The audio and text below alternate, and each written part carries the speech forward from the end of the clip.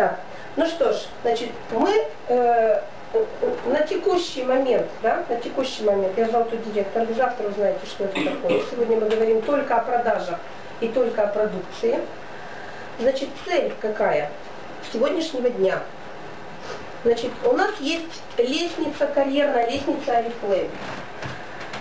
Состоит она из нескольких ступеней, но я вам расскажу только про первые несколько ступеней, всего их пять. Но я вам расскажу про, про четыре. Так, сегодня даже семь. Семь, я расскажу вам про четыре. Итак, первая ступень. Вот э, сейчас, если вы эту лестницу поймете, вы поймете, что надо делать в Oriflame, чтобы расти в зарплате. Значит, первая ступень это консультанты 0,3%. Это тоже вы узнаете, пока просто вот так тупо записываете, да, а потом вы узнаете, что это такое. Значит, 0,3%. Вот только новичок, когда приходит в Oriflame, ему нужно сразу научиться некоторым навыкам, да, для того, чтобы уметь зарабатывать деньги. Значит, самый первый навык, который мы приобретаем в Oriflame, как вы думаете, какой? Чему нужно научиться, то есть что нужно уметь делать для того, чтобы заработать первые деньги в Oriflame? Предлагать, да, то есть, а для того, чтобы предлагать, нужно уметь общаться, то есть навык коммуникации. Итак, первый навык коммуникации.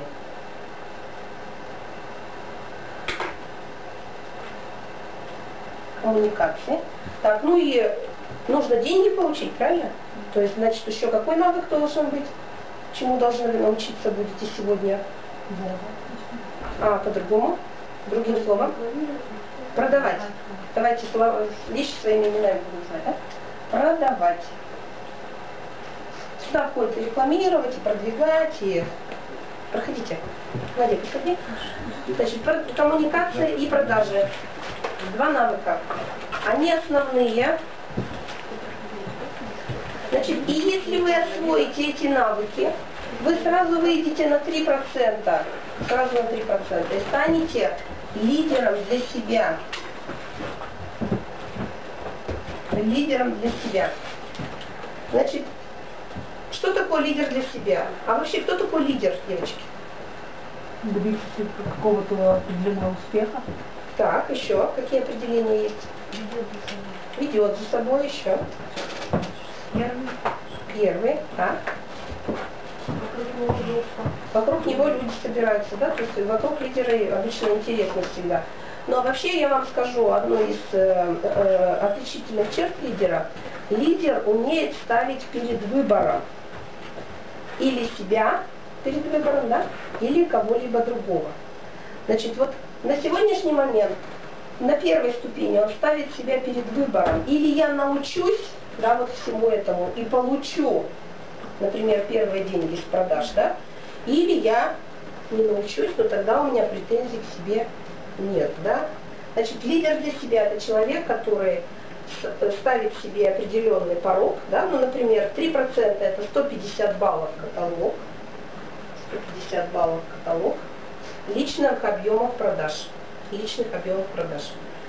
Так, про баллы тоже завтра будем поговорить, сегодня только пишите, завтра вам будет она более понятна. Итак, Значит, вторая ступенька. Теперь смотрите. Вот у нас есть здесь уже девочки, кто знает, за что еще платят деньги в Oriflame. Вот вчера у нас была презентация. Кто-то вчера был, Валя была, например, да, вчера Надя была. Вчера. А, позавчера у нас была, да? Значит, у нас есть три возможности. Первая, отлично выглядеть, это пользоваться самой личной продукцией, да? Вторая, зарабатывать деньги, она подразделяется на три возможности. Значит, зарабатывать деньги можно экономя, да, то есть покупая для себя в дом подешевле. Второй способ зарабатывать – это продажи. И третий способ зарабатывать – это приглашать других людей, строить свою команду, увеличивая товарооборот. Так вот, смотрите, для того, чтобы подняться на вторую ступень, а это уже консультант 3,9%, консультант 3,9%, нужно научиться другому навыку. Какому? Уметь приглашать. Уметь приглашать людей, да. Этот навык называется рекрутинг, то есть научиться рекрутированию. Что такое рекрутирование? Давайте на русский язык переведем это слово.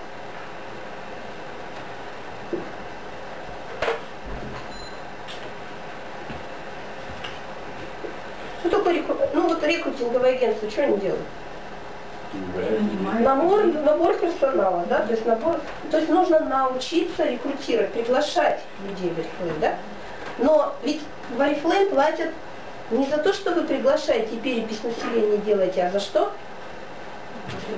За товарооборот, правильно? Вот не платят ни за два высших образования, ни за красивые глаза, ни за ум, да, ни за, ни за красивую фигуру, одежду, только за товарооборот. Ничего больше не играет роли, абсолютно, девочки, только товарооборот. Для того, чтобы, ну рекрутинг понятно, приглашать это самое простое, девочки. Вообще это проще, чем вы думаете. Следующий этап сложнее. Нужно научиться еще учить делать то, что вы уже сами научились. Согласны? А говорят, легче самой сделать, чем другого научить. Да? Есть такое? Есть. Но это только учителя могут сказать, да нет, я лучше другого научу, но сам не буду. Да? Значит, второй навык, который здесь, спонсирование. Кто такой спонсор? Вот когда вы приходите в Oriflame, у вас сразу появляется информационный спонсор. То есть это человек, который вас порекомендовал в Oriflame. Он денег вам не дает, он дает вам информацию, и поэтому называется информационный спонсор. Спонсирование – это значит научить делать то же самое, что уже умеете вы. То есть еще и называется сопровождение спонсирования, другим словом, сопровождение. Значит, идея, для кого вы лидером становитесь уже? Для тех, Для других, да, так и называется, лидер для других. Это ступень. Лидер для других. Так, это ступень лидер для других. Вот очень часто на этой ступени девочки застревают. Очень часто. Я сама, когда я закрыла звание золотой директор, я была вот на этой ступени. Но золотым директором, ну вообще, для того, чтобы быть директором, нужно другими навыками обладать. Поэтому я потом рухнула. Потом снова вернулась обратно. Да? Значит, теперь следующая ступень. Третья, это консультант 12-18%. 12-18%.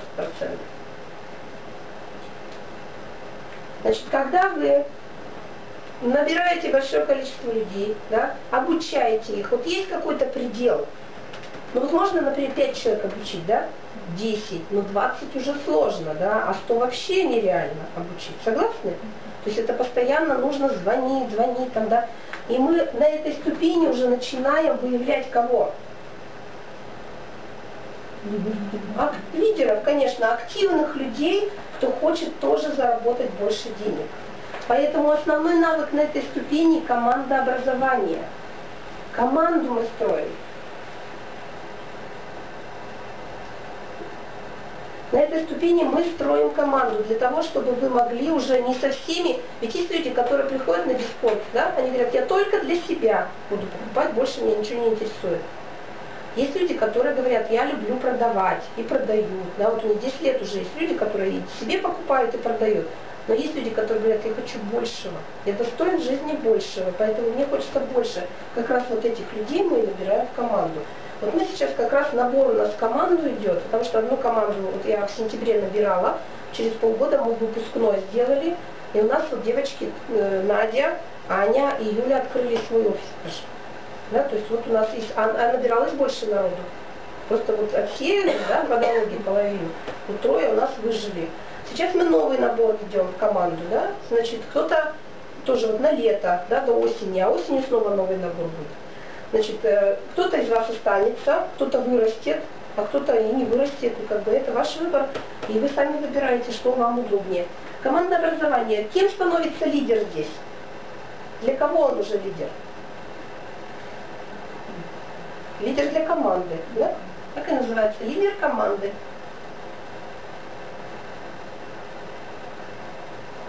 Лидер команды.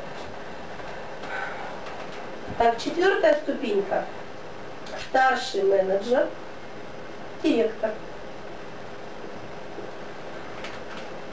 Старший менеджер, директор.